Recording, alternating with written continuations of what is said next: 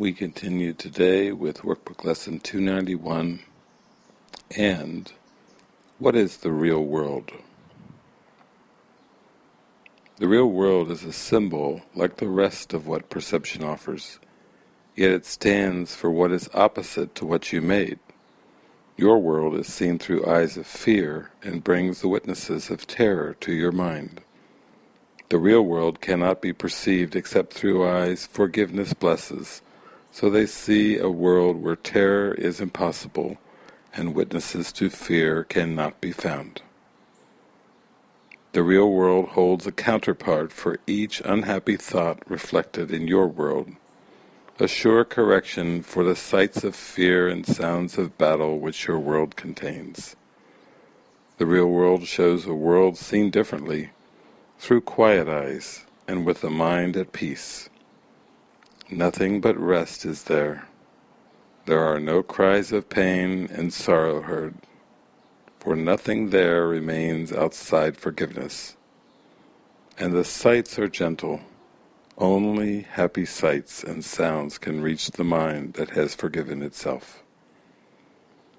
What need has such a mind for thoughts of death, attack, and murder? What can it perceive surrounding it but safety, love, and joy? What is there it would choose to be condemned, and what is there that it would judge against?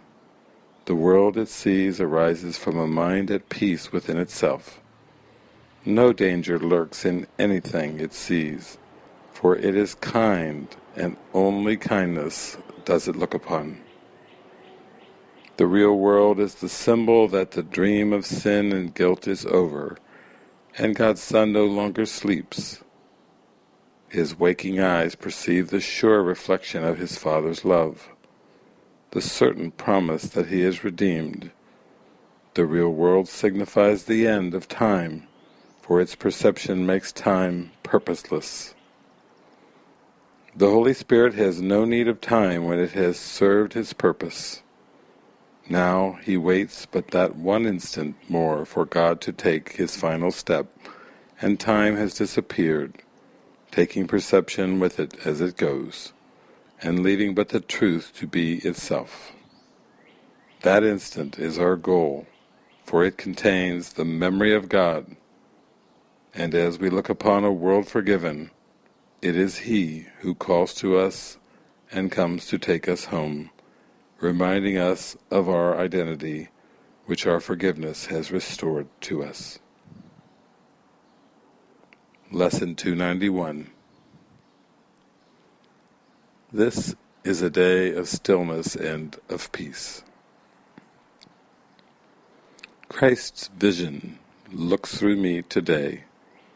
His sight shows me all things forgiven and at peace, and offers this same vision to the world. And I accept this vision in His name, both for myself and for the world as well. What loveliness we look upon today! What holiness we see surrounding us! And it is given us to recognize it is a holiness in which we share. It is the holiness of God Himself.